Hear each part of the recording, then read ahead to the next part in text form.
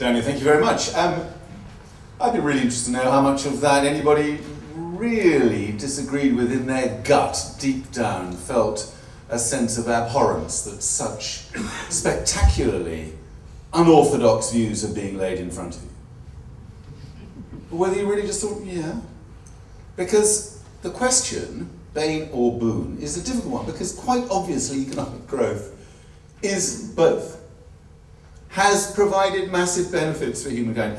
We're really not going to be arguing about that tonight, Daniel. Just rest easy. I'm not going to have an argument with you about life expectancy, about improvements in health and education, quality of life, even the benefits of stuff. And if you want to get fixated about flat screen TVs, you get fixated. That's fine. I don't want to do any of that tonight. Let's bank all of that as the boon that economic growth has unfolded in the lives of very large numbers of human beings pretty much since the start of the Industrial Revolution.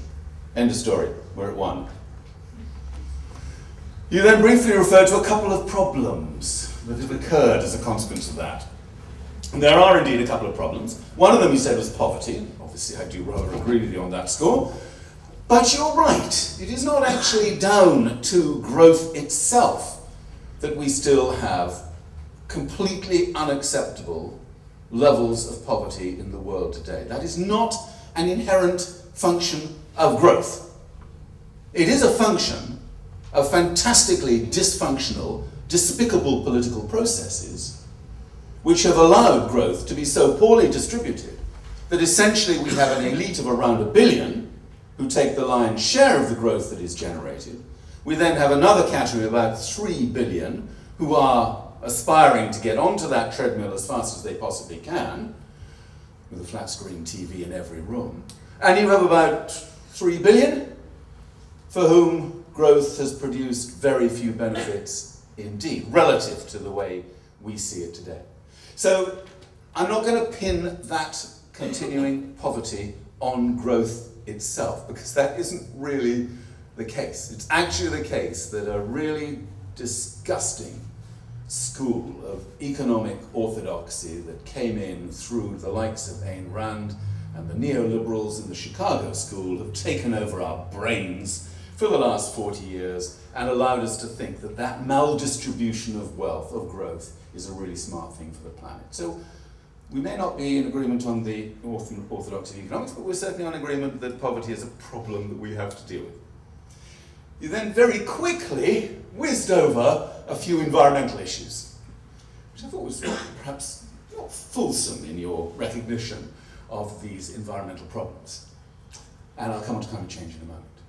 Right now, in Nagoya, in Japan, a gathering of world leaders and a huge number of the world's scientists are looking at what the full extent of 50 to 60 years of untrammeled, growth-driven expansion has been on nature, on the natural world.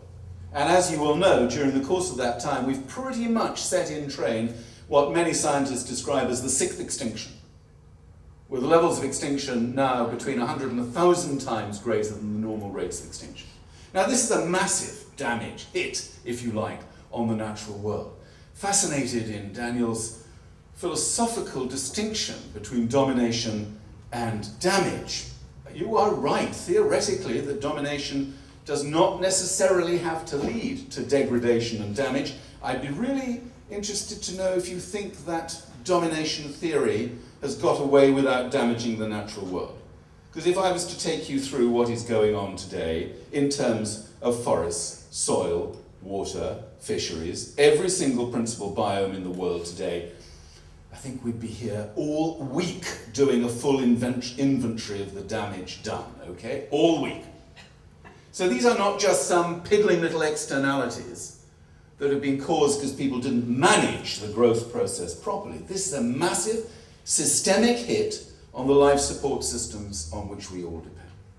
Climate change has brought that to our attention more forcefully than anything else, largely because it has established for the first time a physical, a biophysical limit on what we as a species can actually do. There have been lots of other limits, by the way, but we've ignored them.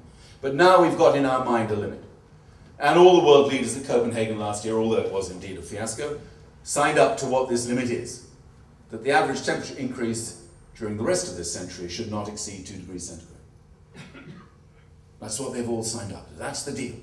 And once you accept that upper threshold, beyond which lies runaway climate change, all sorts of really seriously unpleasant stuff, and below which lies a 50-50 bet that we will actually have a stable enough climate to enjoy the kind of prosperity that Daniel's talking about. This is a very tough limit to live with. This is not going to be easy. But it has helped us to understand that what growth we have now is going to have to generate increased prosperity within that overarching envelope, within that limitation. And if we step outside that envelope and continue to do business as usual growth as we do it today, then we will be guilty of the worst crime, not only against this generation, but against all generations to come. Now, Daniel does not like the concept of limits. He is essentially a born-again cornucopian for whom economic growth allows one to postulate fantasies of permanent expansion indefinitely into the future. That's what the book is essentially all about. Two minutes. Very unwise fantasy to hold, because the planet doesn't really work on fantasy. The planet works on our empirical understanding of how these natural systems actually deliver the goods that enable us to prosper off the back of those systems. So to end, let me just tell you what this looks like in terms of generating prosperity within a low carbon world. Daniel and I probably agree on a lot of things. We probably agree the world's population in 2050 will be about 9 billion. Daniel thinks that's a big tick. He'd probably like to have 12 billion because that would be better for prosperity. I'd like to have 8 billion. But there we are. We'll probably settle for 9 billion by 2050. We'd probably like to see all the Millennium Development Goals delivered because we both really care about poverty and humanitarian solutions to the world's problems.